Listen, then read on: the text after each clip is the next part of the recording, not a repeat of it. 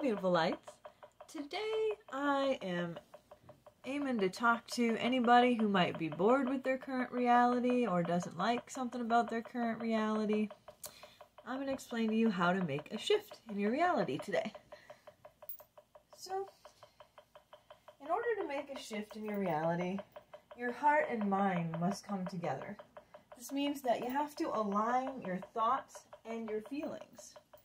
So it's really as simple as your current reality is old news. It's always it's always turning into the past. The present is always becoming the past. So in your current reality, if you have a desire that is stronger than fear, you'll move to a more positive reality.